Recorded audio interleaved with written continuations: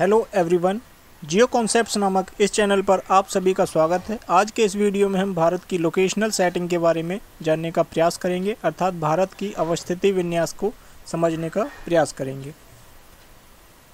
भारत के अवस्थिति विन्यास या लोकेशनल सेटिंग को समझने से पहले आइए भारत के भौगोलिक विशेषताओं पर एक नज़र डालते हैं। भारत एक विकासशील राष्ट्र होने के साथ साथ भारत विश्व के सात महाद्वीपों में सबसे बड़े महाद्वीप एशिया में स्थित है और दक्षिण एशिया का एक महत्वपूर्ण हिस्सा है। अगर क्षेत्रफल की दृष्टि से देखें तो भारत विश्व का सातवां सबसे बड़ा देश है, जिसका क्षेत्रफल बत्तीस लाख सतासी हज़ार दो सौ तिरसठ वर्ग किलोमीटर है, जो विश्व के कुल क्षेत्रफल का दो दशमलव चार दो प्रतिशत है। जनसंख्या की दृष्टि से विश्व में भारत का दूसरा स्थान है। संयुक्त राष्ट्र संघ, अर्थात यूनाइटेड नेशंस के अनुसार, वर्ष 2020 के मध्य में भारत की कुल जनसंख्या 1380 करोड़ चार हज़ार तीन सौ पिचासी थी, जो विश्व की कुल जनसंख्या का सत्रह दशमलव सात प्रतिशत है। भारत के उत्तरी भाग में गगनचुंबी हिमाच्छादित चोटियों वाला हिमालय पर्वत स्थित है। तो इसके दक्षिण में सिंधु गंगा ब्रह्मपुत्र का विश्व प्रसिद्ध उपजाऊ जलोड़ का मैदान मौजूद है। साथ ही साथ इसके दक्षिण में, दक्षिण भारत में प्राचीन भूखंड प्रायद्वीपीय पठार अर्थात पेनिनसुलर प्लेटू स्थित है, जो अमूल्य खनिज संपदाओं या मिनरल्स का भंडार है। प्रायद्वीपीय पठार के पूर्व और पश्चिम में अर्थात ईस्ट और वेस्टर्न पार्ट में संकीर्ण तटीय मैदान स्थित हैं, जो प्राकृतिक और मानव निर्मित बंदरगाहों व समुद्री व्यापार के लिए उपयुक्त हैं। साथ ही भारत के पश्चिमी भाग में थार का मरुस्थल, थार डेजर्ट और बंगाल की खाड़ी में अंडमान निकोबार द्वीप समूह तथा अरब सागर में लक्षद्वीप स्थित हैं, जो अपने प्राकृतिक सौंदर्य व पर्यटन के लिए जग प्रसिद्ध हैं। साथ ही साथ अगर हम भारत का अक्षांशीय और देशांतीय विस्तार देखें तो लगभग 30 डिग्री अक्षांश और देशांतर ये विस्तार के साथ भारत एक विस्तृत क्षेत्रफल वाला देश है। यहाँ पर असंख्य सदावाहिनी और मौसमी नदियाँ प्रवाहित होकर यहाँ की संस्कृति को पालित और पोषित करती हैं। साथ ही साथ अगर हम यहाँ की जलवायु को देखें तो यहाँ पर बहुत विविधता देखने को मिलती है, जहाँ एक और गर्म और ठंडे मरुस्थल क्षेत्र पाए जाते हैं, जहाँ पर शुष्क जलवायु पाई जाती है। तो दूसरी ओर भारत में उत्तर पूर्वी भाग में नम आर्द्र जलवायु वाला उत्तर पूर्वी भाग मौजूद है। तो यहाँ जलवायु की दृष्टि से भी बहुत अधिक विविधताएँ देखने को मिलती हैं। भारत में विविध प्रकार की प्राकृतिक वनस्पतियाँ पाई जाती हैं। अनेक प्रकार की मिट्टियाँ, विविध प्रकार की भाषाएँ बोली और वेशभूषाएँ पाई जाती हैं। अनेकों प्रकार की परंपराएँ और रीति रिवाज यहाँ पर देखने को मिलते हैं। जनसंख्या वितरण की दृष्टि से भारत में बहुत अधिक विविधता देखने को मिलती है। साथ ही स्थानीय समय में भी बहुत अधिक अंतर देखने को मिलता है भारत में। भारत के पूर्वी और पश्चिमी हिस्सों में दो घंटे का अंतर पाया जाता है और ऐसा इसलिए है क्योंकि यहाँ का देशांतरीय विस्तार लगभग, भारत का देशांतरीय विस्तार लगभग 30 डिग्री का है। भारत में धरातलीय संरचना, जलवायु, प्राकृतिक वनस्पति, मिट्टियाँ, विविध रीति रिवाज भाषाएँ, बोलियाँ आदि के आधार पर बहुत अधिक विविधता देखने को मिलती है, जिसके कारण भारत को विविधताओं वाला देश भी कहते हैं। और इसका स्वरूप जो है बहुत अधिक विस्तृत होने के कारण इसे उपमहाद्वीप की संज्ञा भी दी जाती है। इस प्रकार हमने देखा कि भारत में विभिन्न पक्षों के आधार पर बहुत अधिक विविधताएँ देखने को मिलती हैं, जिसके कारण इसे विविधताओं वाला देश भी कहा जाता है। लेकिन यहाँ पर भारत में कुछ ऐसी भी विशेषताएँ हैं या ऐसे लक्षण भी हैं, जिनके कारण इन विविधताओं में एकता भी पाई जाती है। तो आइए इन पक्षों पर एक नज़र डालते हैं, वो कौन से तत्व हैं या कौन से आस्पेक्ट्स हैं जिनके आधार पर भारत में एकता, ये जो भारत को एकता के सूत्र में बांधते हैं। हिमालय पर्वत की स्थिति। नंबर दो, उष्ण मानसूनी जलवायु। भारतीय सांस्कृतिक विरासत। अंतर्राज्यीय प्रवास। और राजनीतिक एकरूपता। ये कुछ आस्पेक्ट्स हैं या कुछ पक्ष हैं जिनके आधार पर भारत में एक रूपता झलकती है। भारत के प्रत्येक पक्ष में एक रूपता झलकती है इन आधारों पर। तो इनको, इन पक्षों को हम विस्तार से एक अलग वीडियो में चर्चा करेंगे। तो आइए चलते हैं भारत की स्थिति और विस्तार की ओर। भारत की स्थिति व विस्तार को जानने का प्रयास करते हैं। भारत की जो स्थिति है वो पृथ्वी के उत्तरी व पूर्वी गोलार्ध में है। आइए समझते हैं उत्तरी और पूर्वी गोलार्ध से हमारा क्या तात्पर्य है। यहाँ विश्व का मानचित्र दिखाया गया है, जिसमें भारत को लाल रंग से दर्शाया गया है। इस मानचित्र पर नीली रेखा के द्वारा भूमध्य रेखा को दर्शाया गया है। भूमध्य रेखा एक काल्पनिक रेखा है, जो ज़ीरो डिग्री अक्षांश पर खींची जाती है। यह पृथ्वी को दो बराबर भागों में बांटती है। ऊपरी भाग उत्तरी गोलार्ध के नाम से जाना जाता है और दक्षिणी भाग दक्षिणी गोलार्ध के नाम से जाना जाता है। तो यहाँ हम देख पा रहे हैं कि भारत की स्थिति उत्तरी गोलार्ध में है। इसी प्रकार ज़ीरो डिग्री देशांतर रेखा को लाल रंग के माध्यम से, लाल रंग की रेखा के माध्यम से दिखाया गया है। यह लाल रंग की जो रेखा है, यह पूरी पृथ्वी को पूर्वी और पश्चिमी गोलार्ध में विभाजित करती है, जैसा कि आपको स्क्रीन पर दिखाई दे रहा है। अब इन दोनों रेखाओं के द्वारा संपूर्ण पृथ्वी को चार भागों में विभाजित किया गया है, जो इस प्रकार है। उत्तर पश्चिमी भाग उत्तर पूर्वी भाग दक्षिण पश्चिमी भाग दक्षिण पूर्वी भाग। यहाँ आप देख पा रहे हैं कि भारत की जो स्थिति है, वो उत्तर पूर्वी भाग में स्थित है। अर्थात भारत जो है, वो उत्तरी गोलार्ध और पूर्वी गोलार्ध में स्थित है। तो इसे हम संयुक्त रूप से कहेंगे कि भारत की स्थिति उत्तर पूर्वी गोलार्ध में है।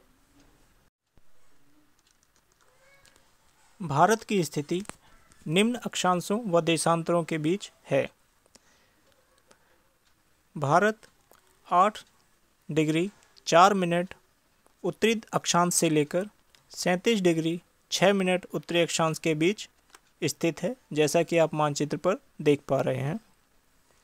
ठीक इसी प्रकार भारत 68 डिग्री सेवन मिनट पूर्वी देशांतर से 97 डिग्री 25 मिनट पूर्वी देशांतर के बीच स्थित है, जैसा कि मानचित्र पर दर्शाया गया है। भारत का अक्षांशीय व देशांतरीय विस्तार लगभग 30 डिग्री का है। उत्तर दक्षिण दिशा में इसका विस्तार 3214 किलोमीटर है, जैसा कि आपको मानचित्र पर दिखाया जा रहा है। साथ ही कच्छ से अरुणाचल प्रदेश तक पश्चिम से पूर्व दिशा में इसका विस्तार उनतीस किलोमीटर है, जैसा कि आपको स्क्रीन पर दिखाया गया है। बयासी डिग्री तीस मिनट पूर्वी देशांतर, भारत का केंद्रीय देशांतर है, अर्थात यह संपूर्ण भारत को दो बराबर भागों में बांटता है।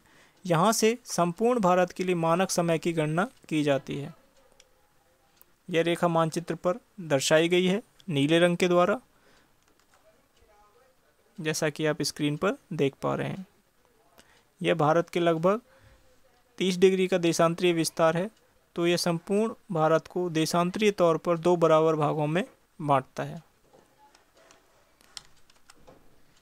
साढ़े तेईस डिग्री उत्तरी अक्षांश, अर्थात कर्क रेखा यह ट्रॉपिक ऑफ़ कैंसर, भारत के आठ राज्यों से होकर गुजरती है और यह भारत को लगभग दो बराबर भागों में बांटती है।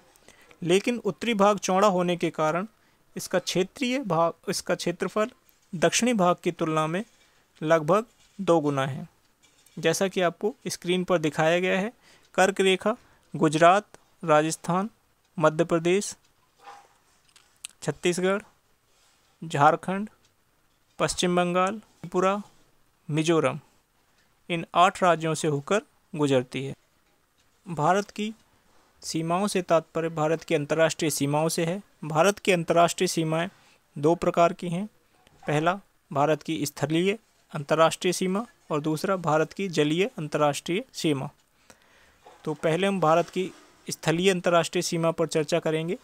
भारत की स्थलीय अंतर्राष्ट्रीय सीमा पंद्रह हज़ार दो सौ किलोमीटर की है और भारत अपना अंतर, अपनी अंतर्राष्ट्रीय स्थल, स्थलीय सीमा पाकिस्तान, अफ़गानिस्तान, ताजिकिस्तान, चीन, नेपाल, भूटान, म्यांमार, बांग्लादेश के साथ साझा करता है। और हमारे पड़ोसी देशों में इन देशों के अतिरिक्त म्यांमार श्रीलंका और श्रीलंका और मालदीव भी शामिल हैं। भारत दक्षिण एशिया का एक महत्वपूर्ण हिस्सा है और दक्षिण एशिया में महत्वपूर्ण भूमिका अदा करता है। दक्षिण एशिया एक प्रादेशिक इकाई है जो आठ देशों से मिलकर बनी है। इसमें भारत व उसके पड़ोसी देश शामिल हैं। इन देशों ने मिलकर दक्षेश अर्थात South Asian Association for Regional Cooperation जिसको हम शॉर्ट में शार्क कहते हैं, के नाम से एक संगठन, एक क्षेत्रीय सहयोग के लिए बनाया है, जिसमें भारत की भूमिका अत्यंत ही महत्वपूर्ण है। जब हम भारत की अंतर्राष्ट्रीय सीमाओं, अंतर्राष्ट्रीय स्थलीय सीमाओं की बात करते हैं तो इसमें त्रिकोण का शीर्ष बिंदु भी महत्वपूर्ण स्थान रखता है। भारत के उत्तर में स्थित यह स्थान, वो स्थान है जहाँ पर एशिया के पाँच प्रमुख देशों जैसे भारत, चीन अफ़गानिस्तान, पाकिस्तान व ताजिकिस्तान की अंतर्राष्ट्रीय सीमाएँ आकर मिलती हैं और मानचित्र पर इसको दर्शाया भी गया है। साथ ही उत्तर पूर्व त्रिसंधि भी अंतर्राष्ट्रीय स्थलीय सीमा में महत्वपूर्ण भूमिका निभाती है, महत्वपूर्ण है। इसका महत्व इस प्रकार से है, भारत के सुदूर उत्तर पूर्व में यह भाग स्थित है और यह उत्तर पूर्वी त्रिसंधि वो स्थान है जहाँ पर भारत, चीन और म्यांमार की सीमाएँ आपस में आपस में आकर मिलती हैं। मानचित्र पर इसको दर्शाया भी गया है, जैसा कि आप स्क्रीन पर देख पा रहे हैं। जब हम भारत की अंतर्राष्ट्रीय सीमाओं की बात करते हैं तो इसमें कुछ शब्द महत्वपूर्ण हैं, जिनका हम यहाँ पर वर्णन करेंगे। सबसे पहला है रेड क्लिफ सीमा।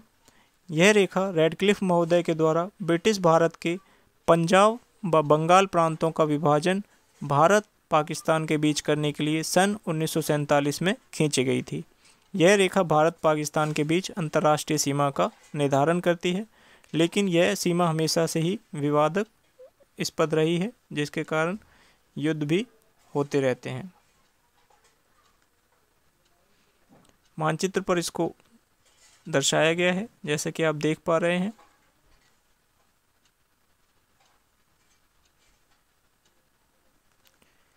दूसरी महत्वपूर्ण रेखा है मैकमोहन रेखा, जिसका निर्धारण सर हेनरी मैकमोहन के द्वारा किया गया था।